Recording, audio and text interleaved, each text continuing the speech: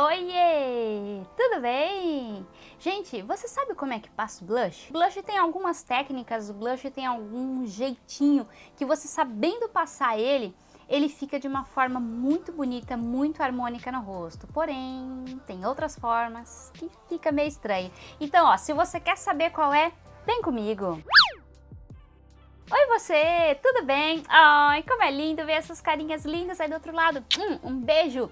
Gente, hoje eu vou falar de uma coisa assim que parece ser muito óbvia, muito simples. Hahaha, como passar o blush. Mas tem tanto erro em como se passa o blush que, menina, eu preciso fazer esse vídeo sim. Então, se você quer aprender como que passa o blush da forma certa, ó, já deixa o like, já deixa o seu like porque essa dica é fácil, é prática, é muito rápida. Então, deixa seu like, tá bom? Gente, vamos lá. Um detalhe muito importante, muito importante mesmo, que eu até comentei no vídeo uh, quando eu mostrei como é que fazia o contorno, se você não viu, eu vou deixar ele linkado aqui, é, que é você entender qual é o seu tom de pele, qual é a cor que combina melhor com você, qual é realmente aquela cor que vai realçar a sua beleza. Bem, eu vou mostrar para vocês uns tons de blush e esse blush em especial eu acho que ele fica muito bonito para minha pele. Ela, ela fica ali entre o neutro e o quente. Então eu posso usar às vezes as cores que puxam para o neutro, como do contorno, eu já acho que fica muito mais natural para mim, mas também tons avermelhados, tom mais puxado para o quente, para o calor, já fica bem assim realça, eu diria, né? Essa é a melhor palavra, ela deixa algo realçado. Eu vou mostrar duas cores. Essa daqui ela chama Peach Twist, tá? Como o próprio nome diz, ela tem um tom de pêssego, que é essa daqui. Ela tem um pouquinho de brilho, ó, vendo? Ela tem um pouquinho de brilho, um shimmer. E quando você passa, ela deixa um leve brilho e um tomzinho de pêssego. Então, essa aqui é a Peach Twist, tá? A outra cor que eu acho muito bonita também, essa outra aqui ela chama Sambasque. Essa cor Sambasque, ela já é um pouco cobre. Ó. E ela tem um pouquinho menos de brilho do que aquela outra, tá vendo? Já puxa com cobre, essa é aquela outra que já tem mais brilho. Ela tem pouquinho desse tom de cobre, de coral, porém ela tem um shimmer, mas muito, muito pouquinho. Então, pro dia a dia, eu acho assim que são cores incríveis, tá? Você vai poder usar, é, eu geralmente sempre estou usando esse daqui, então vale muito a pena.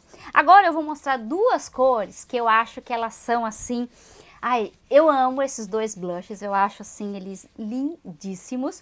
Porém, ele é um tipo de blush assim, tem a cara do verão, sabe? Ele é a cara do verão, é para quando está bronzeada ou numa ocasião mais especial, no casamento, no noivado, no... porque eles têm um pouquinho mais de brilho. Essa daqui, ele é muito conhecido, ele chama Lovejoy.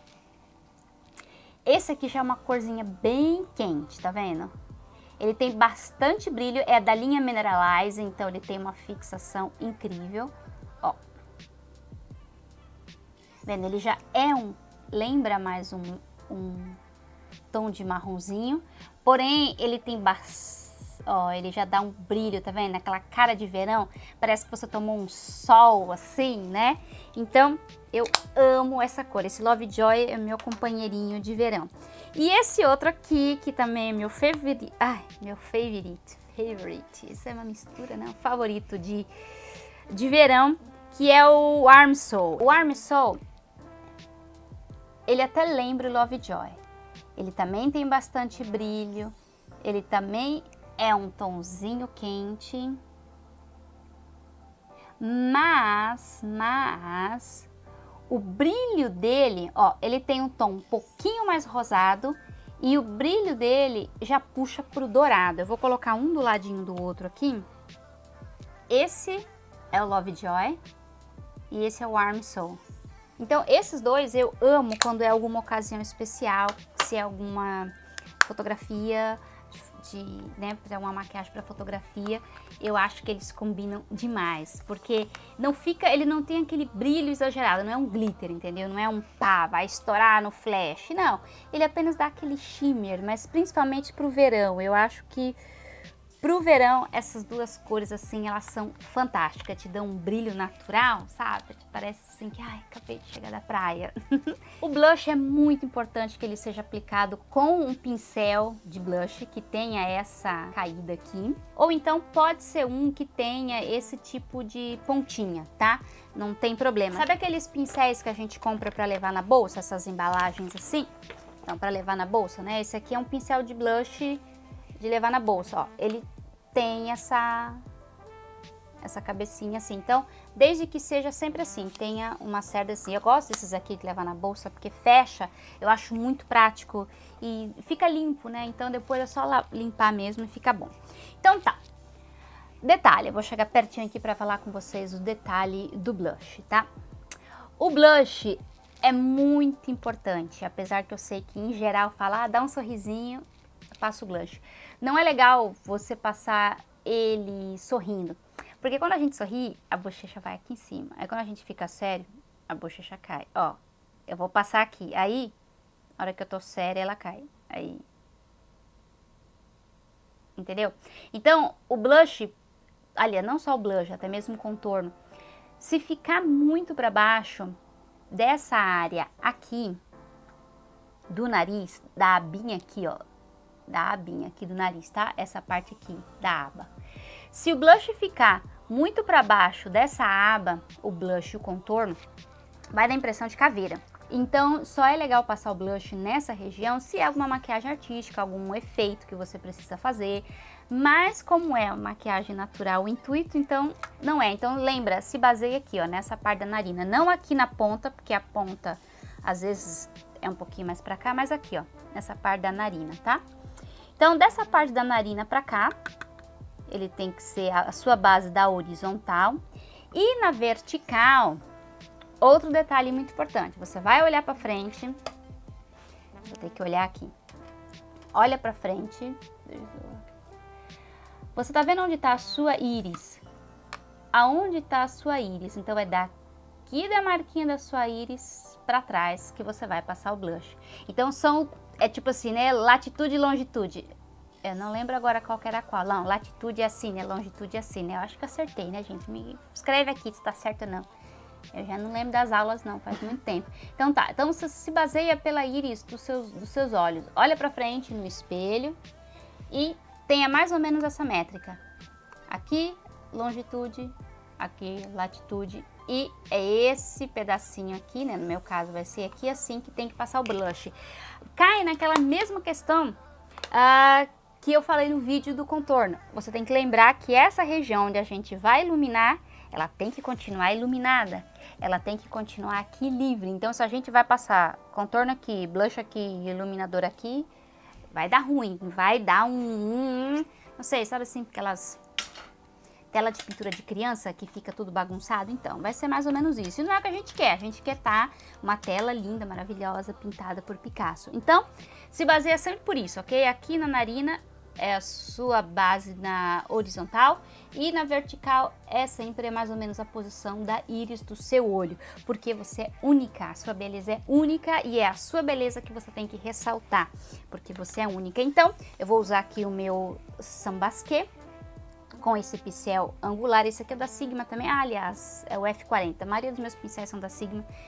Então, esse aqui, o da Sigma, da MAC, ainda não, não ainda não consegui ter toda a coleção. Né? Ainda, ainda precisa de um bom tempo para ter a coleção da MAC, mas são ótimos pincéis. Enfim, peguei um pouquinho só. Ó, você viu como ele tem pigmento, né? É... Não tem, gente. Esse, eu amo esse, esse blush. Então tá, eu vou tirar o excesso, porque é uma maquiagem só pra dia a dia, certo? Uma coisa simples, fácil e prática. E tá demorando aqui porque a gente tá no vídeo, tá? Mas no dia a dia é rapidinho. Então, vamos lá.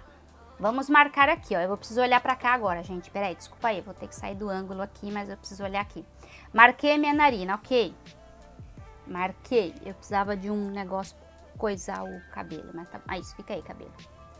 Marquei minha narina, ok? Aqui assim. Agora, vou marcar a íris, mais ou menos aqui assim. Então, o blush, ele vai ser nessa altura. Não começa a passar ele aqui, porque o pincel tá um pouquinho mais carregado. Por mais que eu limpei, se passar ele daqui, vai ser difícil para esfumar, vai ficar parecendo, né, um tapinha. Então, Você sabe mais ou menos até onde ele tem que ir, certo? Então começa daqui, lá do fundinho da orelha, lá onde a gente mais ou menos passou o blush. Aí você marca e aí sim você pode fazer assim, dessa forma. Indo e voltando, porque ele já ficou no lugar certo, você já tem a demarcação. Porque dessa forma, se você tá sorrindo, ele vai realçar. Se você tá séria, ele continua aqui bonito. Ele não saiu do lugar, ele não se movimentou, não te deixou com aparência de triste. Essa é a melhor explicação, porque se a gente passa o blush e ele cai, dá a impressão que, né, quando a gente tá down, assim, fica meio, né, então é legal dessa forma. Então, agora, do outro lado, a mesma coisa. Métrica do nariz, métrica do olho. Eu vou começar a passar daqui para o excesso ficar lá juntinho do contorno para eles se misturarem. E agora sim, eu venho, jogo para cá. Ai, gente, como eu amo esse brilho que esse blush dá, um brilhozinho. E você pode ver, ó, que quando eu dou o sorriso, ele tá no lugar que tem que ficar, certo? Porque ele não tem que ficar aqui na frente, não é aquela bolinha de palhaço, né? Ele é para dar só um, um, brilho, assim, ai, peguei uma corzinha na praia, por isso que eu estou aqui, deixa eu pegar só esse excesso aqui, ó só um brilho que eu peguei, mais nada. Olha aqui, pronto. Eu não vou passar no nariz porque eu já passei o, o iluminador. Prontinho, olha aí.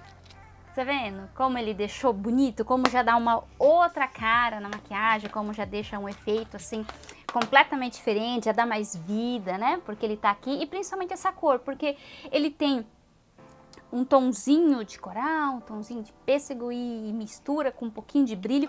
O brilho dele, eu diria pra você, peraí, hum, não é um brilho dourado não, eu acho que é um brilho champanhe, porque ele mal aparece, você consegue ver o brilho no próprio pêssego, sabe? Não, não, ressalta. Não é como o Lovejoy que ressalta o brilho dourado, né? Esse não, esse já mistura, é como se a cor do pêssego mesmo tivesse aqui brilhando, então é assim que fica aí, ó. Então, o blush aqui no final, ele se mistura onde você passou contorno. Não é pra fazer isso não, tá, gente? Eu tô só mostrando pra vocês, tá? Então, ele se mistura aqui onde misturou o seu contorno, para eles ficarem ali, ó, todos juntos, amiguinho. O contorno, que o contorno que veio aqui, o blush que veio aqui e o iluminador que tá aqui. Então, todos eles estão conversando em harmonia estão todos aqui. Se por um acaso você de repente exagerou no blush, passou muito e tipo, ai, o que, que eu faço? Se eu esfumar eu vou vir pra frente, você pega um pincel fofão, sem produto nenhum, limpa ele bem sem produto e simplesmente esfuma. Esfuma tudo, esfuma tudo, vai quase que sumir, mas não vai sumir. Vai ficar tudo aqui bonitinho, só pronto. Saiu qualquer marcação a mais que você tenha passado e você não tenha gostado. Então, gente, eu quero saber de você. Você sabia que onde tinha que passar o blush era dessa forma que passava, que ele fica mais bonito? Olha como ele fica mais bonito. Me conta aqui que eu quero saber. E tem alguma cor de blush assim específica que você gosta ou algum truque a mais que você queira saber? Conta pra mim que aí eu respondo pra você no próximo vídeo, tá legal? Gente, ó, lembra de se inscrever? Lembra de se inscrever no canal da Paula? Ajuda aí a Paulinha a crescer com o canal, tá legal?